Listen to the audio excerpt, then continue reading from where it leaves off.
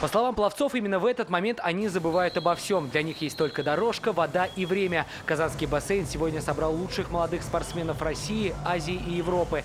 Для многих турнир олимпийского чемпиона Александра Попова – важнейший старт в жизни. С волнением справляются не все.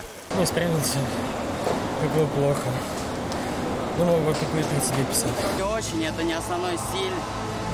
Сейчас э, будет 200 кролем, вот там буду работать. А прямо сейчас идет чемпионский заплыв. Спортсмены действительно идут по-настоящему хорошо. Даже идя по мне приходится за ними поспевать. Кстати, они плывут кролем.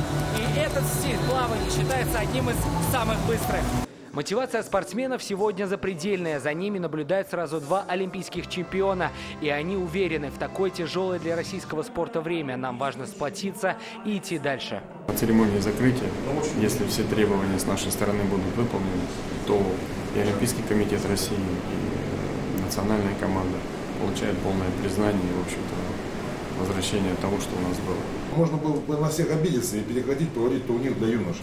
Мы делаем так, чтобы через 4 года, через 8, или кратно, понятно, циклом, у нас постоянно были ребята, которые будут продолжать. Имя обладателя Кубка Попова мы узнаем через два дня. Соревнования продлятся до 10 декабря. Сергей Хайдаров, Игорь Романов, ТНВ, Казань.